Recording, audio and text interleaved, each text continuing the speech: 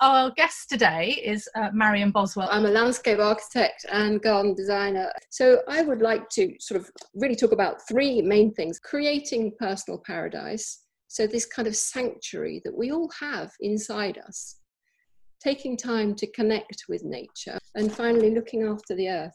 So you're probably all familiar with Maslow's hierarchy of needs, but they basically describe our needs and also our relationship with the land. As gardeners, as garden designers, we can look after the green spaces we already have, plant trees, create habitat, cool urban spaces, clean air, lock up carbon. We can use reclaimed materials, save water, plant for pollinators and birds. So by looking after our own outside area sustainably, we can impact our environment and we can leave that little extra messy bit in the garden. Now, I like this theory because I have lots of little extra messy bits in my garden, but that is really somewhere for wildlife to share. So if you're a gardener, you know that gardening's good exercise for the body, but studies you've probably read recently have also shown that just 20 minutes outside lowers the stress hormone cortisol. Putting our hands in the soil uh, raises serotonin, which makes us feel relaxed and happier. So whether we're growing food or taking our one hour exercise, walking the dog, it's good for our bodies and good for our minds. It's often, or even always, not just the things we buy that make us happy.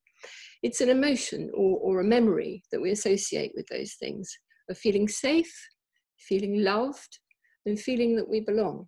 You're not going to say to the client, um, do you need sanctuary in your life? You know, are you having a tough time? You're just listening to that kind of stuff. Mm-hmm. The, the client brief will be, where do you want to put the swimming pool and how do you, but you're listening all the time to what they really need.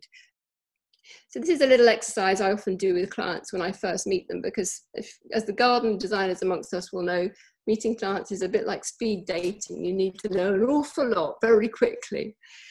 So if you close your eyes or just just think for a moment, if you think back to your happiest memories outdoors, what were you doing? What could you hear and what could you smell? And who were you with? Just by having that bench under this ancient crab apple, it just again like gives you this wonderful spot of sanctuary, connection, and stillness. And it's that kind of special memory of a safe, dream-like place of love. It's something I've always treasured, and I try to recreate that in the gardens that I design. It's become a sort of inner sanctuary, a notion of my inner paradise. So, really, all of that is to say that uh, nature does it best, and we can but uh, try to do a little bit.